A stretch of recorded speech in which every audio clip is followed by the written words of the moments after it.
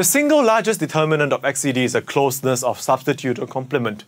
Um, that's because, you know, if you are weak substitute or complement, the value is between 0 and 1, and if it's a strong one, it's above 1.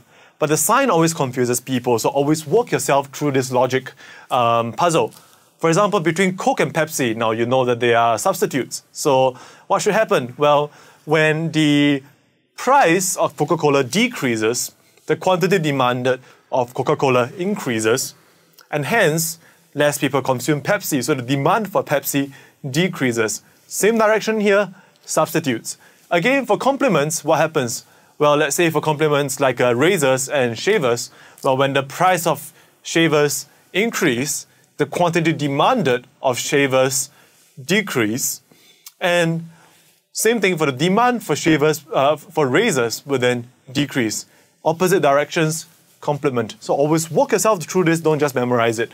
So why is this value for XED uh, important? Because firms need to know the XED of their product when considering the effect on the demand for their product uh, of a change in uh, and you know effects of the change of a rival's product or a complementary product.